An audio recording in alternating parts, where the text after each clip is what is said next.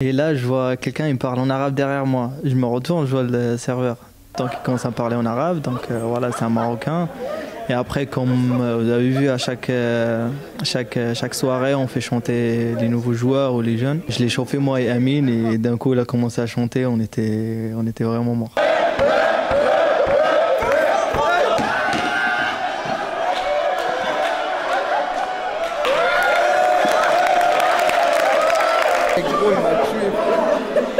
Il a mis de l'ambiance quand même.